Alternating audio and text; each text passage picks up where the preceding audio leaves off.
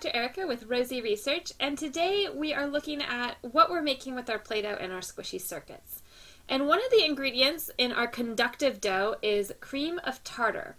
Now you might wonder, why in the world am I adding cream of tartar to this Play-Doh? And it's not necessarily what you would think. It's not what's adding the current or the ability for this Play-Doh to conduct the charge into it. it. Is actually an acid that is preserving your Play-Doh. And it's also making your Play-Doh nice and stretchy. So as you mix in the flour and the salt, the flour has these sort of long proteins. And if they get all globbled up, it gets really breaky and really sort of crumbly, like a biscuit crumble.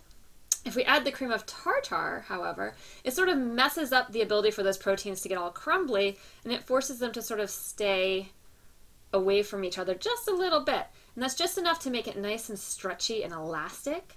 And it also happens to preserve it. Now, it might add a little bit of charge, but that's not what's causing the salt Play-Doh to conduct.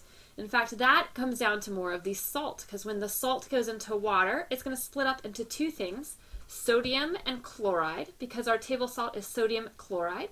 And sodium is positively charged, and chloride is negatively charged. And now we have two types of charges in our Play-Doh, and once we add a, um, a battery to it, some sort of push or a voltage, now you can move those charges, which creates a current. But the cream of tartar just makes it last longer and it also makes it feel nicer. And so that's the, why the cream of tartar is in our Play-Doh. Hopefully you're having a great time with our Squishy Circuits Lab. You can always follow us on our projects on Facebook and Instagram to get great ideas of kids science, and you can pledge to be a supporter of our labs on Patreon.